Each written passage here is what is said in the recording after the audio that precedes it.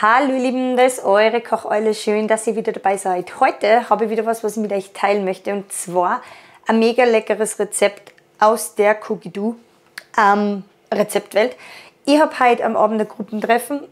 Ich mache dann auch immer wieder für uns was Leckeres zu essen und unter anderem gibt es bei mir heute eine Vollkorn-Mangold-Quiche. Warum Mangold? Ähm, ich zeige euch jetzt gleich, also wir blenden euch das auch gern ein. Ich war im Garten, wir haben ja seit heuer Hochbeete. Wer uns da auf Instagram ein bisschen folgt, der hat das mitgekriegt. Ich werde jetzt dann wieder mal was reinstellen. Ähm, sie wachsen, es gedeiht und zwar ähm, ja, ist das ein kleiner Auszug aus dem Garten vom Mangold. Das sind jetzt ein bisschen über 400 Gramm.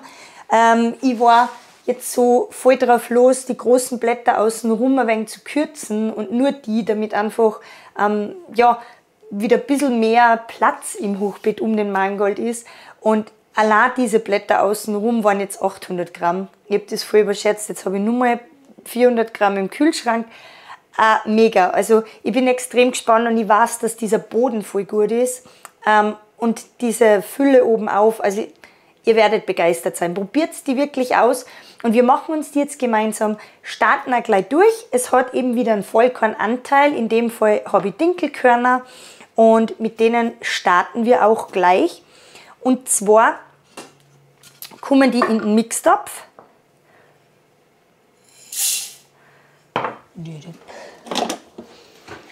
Dann unbedingt den Miximizer einsetzen. Wer den noch nicht hat, besorgt es euch. Mehr kann ich euch dazu nicht sagen. Ich liebe den Miximizer. Das ist wirklich mein absolutes Lieblingsprodukt vom Wundermix. Da geht es einfach darum, ähm, weniger Staub in der Küche beim Zermahlen von Körnern, von Staubzucker. Bei Zwiebel und Knoblauch später mega Ergebnis, weil alles schön am Boden unten bleibt. Es verkleinert euch den Mixtopf. Schaut euch das Video dazu an. Wie gesagt, absolute Empfehlung meinerseits. Und jetzt werden die Dinkelkörner für eine Minute auf Stufe 10 zu feinem Vollkornmehl gemahlen.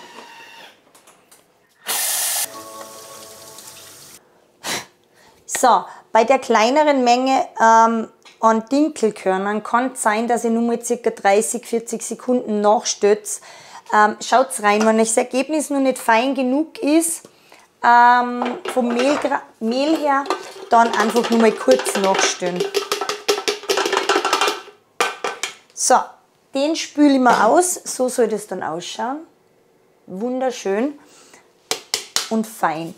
Jetzt geben wir das wieder rein. Und es geht auch schon weiter. Und zwar kommt dazu unser Dinkelmehl.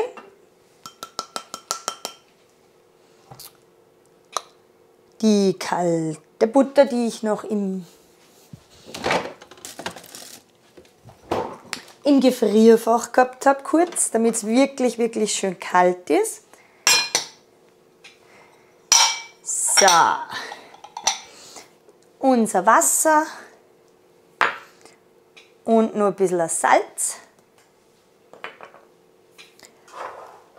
Und jetzt wird das Ganze ups, für 20 Sekunden auf Stufe 4 schön zum Teig vermischt. So, den Teig holt sich jetzt auf leicht bemehlte Arbeitsfläche. Ich habe da wieder die Teigmatte von Wundermix. Ich liebe sie. Da Einmal alles raus. Und dann heißt es nur noch kneten. So, jetzt tatsächlich die, es steht zwar immer überall eine Kugel, aber wir wollen den ja nachher flach ausrollen, okay? Das heißt, ich mache mir den auch schon gleich so ein bisschen flach, damit ich mir nachher beim Ausrollen leichter tue. Genau, gib mir den jetzt einfach auf eine, in ein bisschen Folie oder das ist in so ein Wachspapier, ähm, Bienenwachspapier und entweder 15 Minuten in den Kühlschrank oder wirklich 5 bis 10 Minuten ins Gefrierfach, einfach, dass die Butter nur mal kurz ähm, anziehen kann und dann geht es weiter. In der Zwischenzeit richtet euch eine Quicheform mit 30 cm Durchmesser, die da euch befetten, entweder mit ähm, Öl oder mit meinem selbstgemachten Backtrennfett und dann geht es auch schon weiter. Backrohr langsam aber sicher gegen Ende der Kühlzeit ähm, auf 200 Grad Ober-Unterhitze vorheizen und dann geht's weiter. So, ihr habt euren Teig, einen Teigroller und jetzt wird der einfach auf, also ähm, das haben wir schon gemacht, Kugelformen, gekühlt etc. Tat vom fetten Mixtopf ist wieder sauber, das heißt, ihr seht Küchenchaos sauber, Mixtopf gespült, den Miximeiser habe ich gespült, Backofen, das haben wir alles erledigt. Jetzt geht es eben weiter, indem ihr könnt das auf einer Arbeitsfläche machen, wenn ihr keinen passenden Teigroller habt. Aber ich mache das mit meinem, der ist vom Pampered Chef. Ihr könnt den leider jetzt bei mir nicht mehr bestellen. Ähm, aber entweder kennt jemand jemanden, der wen kennt, beziehungsweise werde ich unten einfach mal was Vergleichbares finden für euch und werde ich das einfach auch dann in mein Amazon Storefront reinschmeißen. Den Link findet ihr übrigens unten in der Videobeschreibung. Wenn ihr darauf klickt, da seht ihr einfach grundsätzlich Produkte, die ich euch ähm, ans Herz legen kann, ähm, die entweder im Video auftauchen, wo viele Fragen dazu kommen sind, ähm, Formen, die ihr für euren Thermomix nutzen könnt. Also einige Dinge. Schaut da einfach mal rein. Genau, und jetzt tatsächlich das entweder auf einer Teigmatte auf die Größe 30 ausrollen, plus eben die Zentimeter, die es nach oben braucht am Rand. Oder ihr macht es so wie ich und tatsächlich das einfach so direkt in die Form einarbeiten. Es geht beides, so wie euch ihr leichter das, wie ihr das sonst auch so macht.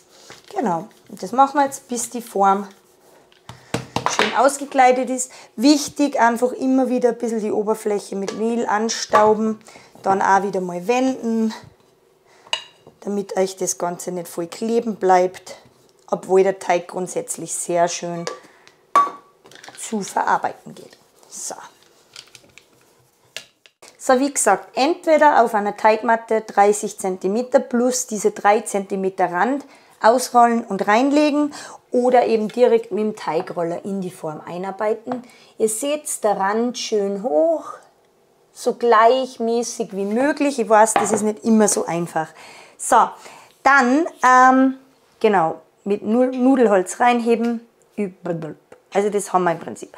Jetzt kommt ein Backpapier da rein. Ich muss gestehen, ich habe noch nie blind gebacken. Also ich habe noch nie bis jetzt mit Hülsenfrüchten gearbeitet. Ich werde es jetzt machen. Einfach weil es im Rezept steht, um einfach das einmal rauszufinden. Ich finde das einfach Verschwendung von Hülsenfrüchten, aber ist jetzt so, wir dann da Hülsenfrüchte rein. In dem Fall habe ich da rote Linsen. Ähm, ihr könnt da natürlich ähm, alles, soweit ich weiß, hernehmen. Ob jetzt Bohnen, Kichererbsen, ja, alles, was ihr denn so zu Hause, zu Hause, zu Hause haben solltet. So, schön da rein hebt euch die bitte dann auf. Also ich werde die sicher aufheben. Man schreibt mir das uns gerne in die Kommentare rein, wie ihr das so handhabt, ob ihr da Erfahrung habt. Aber ich habe mir jetzt gedacht, ich hebe die Hülsenfrüchte auf jeden Fall auf fürs nächste Mal, wo ich wieder mal blind backen sollte. Weil die wegzuschmeißen, das wäre ehrlich gesagt ein bisschen eine Schande. Ähm, ja. Ja, genau. Auf jeden Fall haben wir das gemacht. Und der wird jetzt für 20 Minuten bei 200 Grad vorgebacken und währenddessen fangen wir mit der Fülle an. Also der kommt jetzt in den vorgeheizten Ofen, 200 Grad, 20 Minuten Ober- und Unterhitze. So ihr Lieben, wir haben gerade einen kleinen Zwischenfall gehabt, deswegen ist mein Kiesboden jetzt ähm, schon wieder heraus. Wir haben nämlich im Büro einen Wasserschaden. Ja, vom Badezimmer oben. Aber that's life, das die sagen. Und ja, hat mich gerade ein bisschen aus dem Konzept geworfen. Aber auf jeden Fall geht es weiter. Wir machen uns die Fülle. Teig zeige ich euch dann gleich später. Ähm, anfangen da mal, die, also ihr könnt euch den Parmesan nach Rezept ähm, einfach reinschmeißen und malen oder den Zerkleinerungs, mit Zerkleinerungstool. Ich habe das eben schon vorbereitet. Ich habe auch die doppelte Menge, weil wir lieben Käse und 60 Gramm Parmesan da rein ist besser wie 30, aber heute zeige ich uns gerne ans Originalrezept.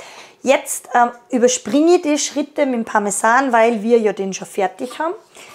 Dann habe ich drei kleinere oder zwei größere Knoblauchzehen gibt es da rein.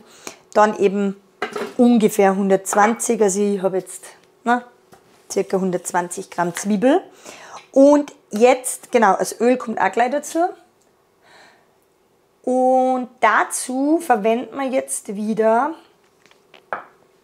den Miximizer, damit das eben alles schön unten bleibt und ich da nicht bis oben alles angesaut habe und den Deckel drauf. Das Ganze wird zerkleinert und zwar für 5 Sekunden auf Stufe 5.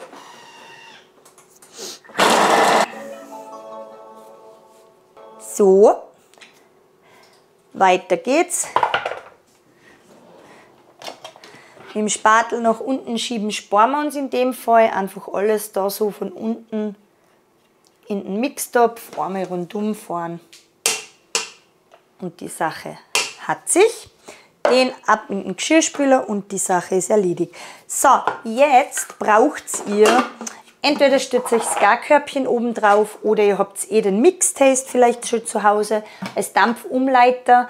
Ähm, so könnt ihr euch einfach das Garkörbchen oben aufsparen. Und das wird jetzt für drei Minuten bei 120 Grad auf Stufe 1 einfach angedünstet. Wir können schon mal die Vorschau anschauen und können uns einfach diesen Mangold schon mal in grobe Stücke schneiden. Entweder frischer Spinat oder frischer Mangold, was auch immer ihr zu Hause habt. Und das mache ich während das andünstet.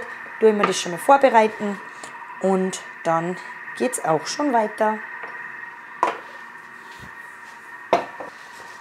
Mangold ist übrigens einfach gewaschen, haben dann auf ein bisschen Küchenpapier hingelegt, dass es so ein bisschen das Ärgste ein bisschen trocknen kann.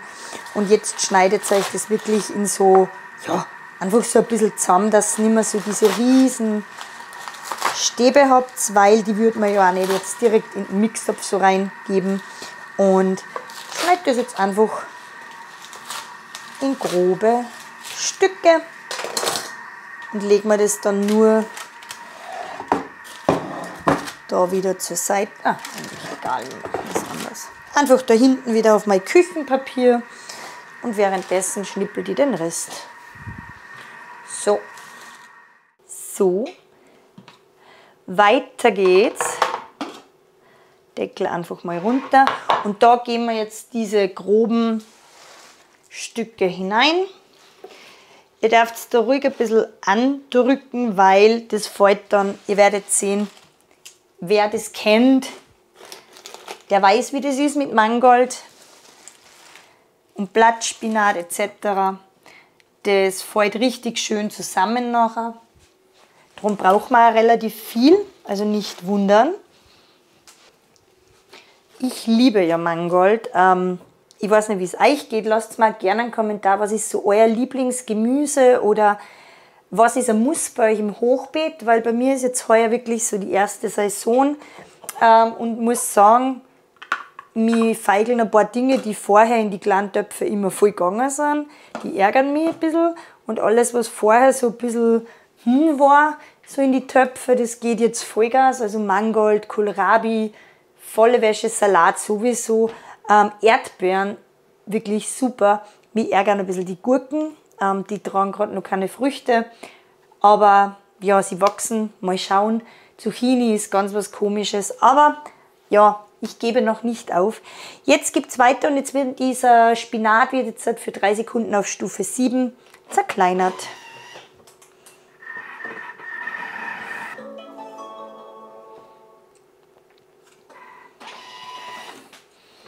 Ja, es schaut jetzt auch schön aus.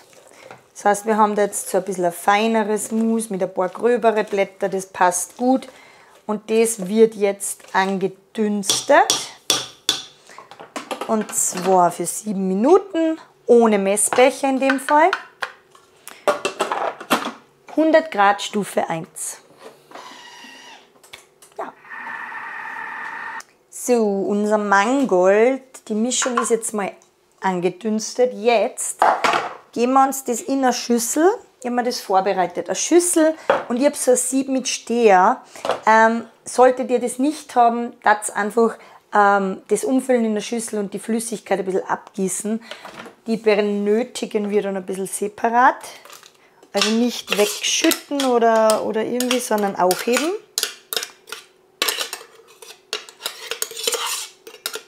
Holt euch da einfach alles schön raus. So. Da eben dann ein Spinat oder den Mangold in dem Fall ein bisschen bewegen. Ich schaue euch, ob ich euch unten was verlinken kann, was passendes für euch, dass ihr da so ein Konstrukt von der Ähnlichkeit zu Hause habt, weil es tropft einfach richtig schön die Flüssigkeit ab und oben haben wir dann das, ähm, die Fülle in dem Fall. Genau, das haben wir gemacht. Warte mal kurz, jetzt müssen wir da abgießen, genau. Dann kommt jetzt der Sauerrahm in den Mixtopf. Das, was jetzt fehlt, das ist die Flüssigkeit, die was ich vom Sauerrahm abgossen habe. Das ist immer so ein bisschen was, was sie bildet. Das passt aber gut so. Das war eine Packung. Dann kommen unsere Eier da rein.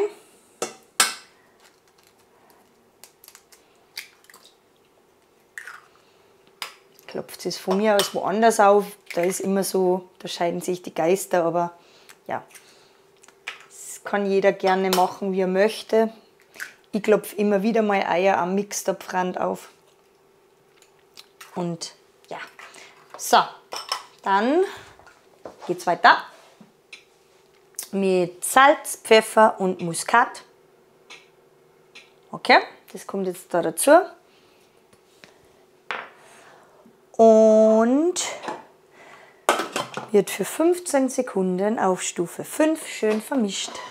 Ah, 4, Entschuldigung, na.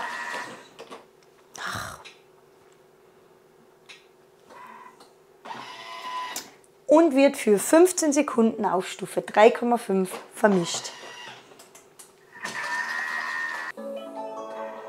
die Tatform, also die Tat, den Tatboden rausgeben und dann die Backofentemperatur auf 180 Grad reduzieren. Hülsenfrüchte mit dem Backpapier da wir jetzt entfernen. Ich hebe mir das, wie gesagt, auf. Bin aber für Tipps da offen, ob das Sinn macht oder nicht. Ähm, dann geben wir eben, also der Parmesan in dem Fall, ich kann das jetzt schon angreifen, weil ich es eben schon ein bisschen vorher rausholen habe müssen. Der Parmesan in dem Fall ist so ein bisschen ein Bindeglied jetzt auch. Ähm, Bindeglied und auch, damit jetzt die ganze Flüssigkeit nicht so unbedingt direkt auf den Boden kommt, also die Feuchtigkeit. Jetzt geben wir da einfach ein bisschen Parmesan drauf. Der wird da so verteilt, dass den einfach so richtig schön, dass einfach ein bisschen was ist, Solltet ihr mal keinen Parmesan haben, bitte nehmt einen anderen Käse. Aber Parmesan ist halt einfach so ja, richtig, richtig lecker. Und auch würzig schön da rein, gell? Also ein bisschen was Würzigeres. Ihr wollt das gar nicht, einfach euren Käse. Genau. Und wir verteilen eben uns jetzt diese Mangold-Mischung.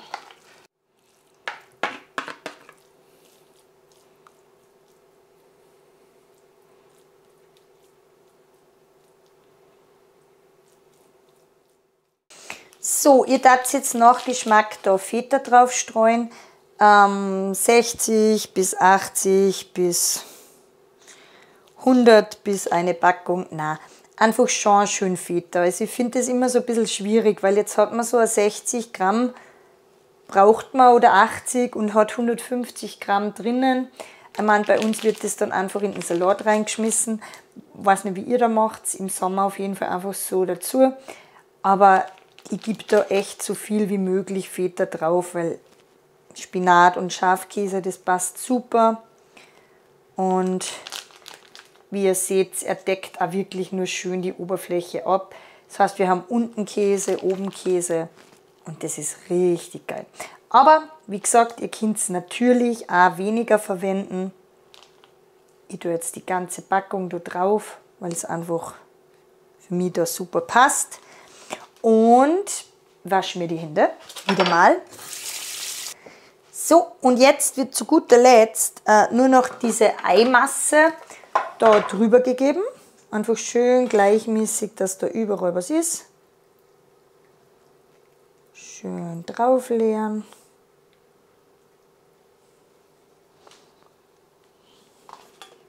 Wo ist eigentlich schon wieder mein Spatel?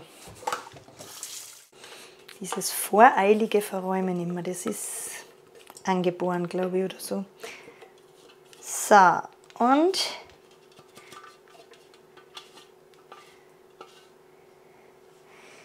jetzt wird es eben bei diesen 180 Grad, die wir jetzt haben, Ober-Unterhitze, nochmal 35 bis 40 Minuten schön gebacken. Mein Ofen piepst, heißt, der hat die 180 runter reduziert und dann lassen wir es abkühlen, damit es nicht gleich bricht und wir sind fertig. Ich habe übrigens diesen Quicheboden wirklich schon für ganz viele andere Quiche-Sorten verwendet. Äh, Kürbisquiche, also ihr könnt den Boden individuell Spargelquiche wirklich einsetzen. Und ihr werdet sehen, probiert es aus, er ist einfach so richtig, richtig lecker, weil er durch dieses Dinkel und durch den Vollkornanteil einfach so einen guten Eigengeschmack hat, dass das das Ganze einfach nur mal peppt. Und dazu wissen wir einfach, es ist Vollkornanteil drinnen. Super gut, super lecker. Und lasst es euch schmecken.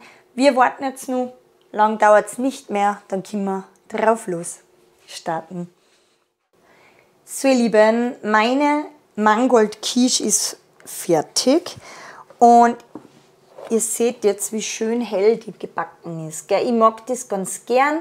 Mir passiert es zwar immer wieder mal, dass es zu dunkel wird. Ich habe das auf der untersten Schicht gebacken. Ähm, 40 Minuten war es bei mir drinnen. Ihr könnt sie natürlich ähm, die letzten Minuten nur gerade also, ähm, über Backen einstellen, dann wird es nur dunkler. Ich habe das jetzt nicht gemacht. Lasst sie jetzt wirklich schön auskühlen. Also die soll jetzt schon mal mindestens eine halbe Stunde, wenn nicht länger, wirklich stehen.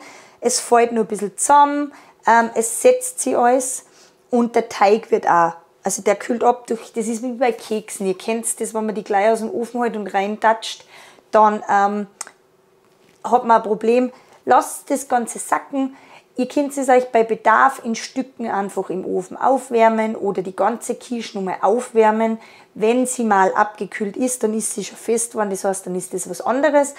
Ähm, ja, und ich werde euch auf jeden Fall fürs Foto dann ein schönes Stück rausschneiden, lasse aber jetzt nur, wie gesagt, abkühlen und probiert es aus. Lasst es euch schmecken, sagt mir, ob euch das Rezept gefällt von Cookie Doo.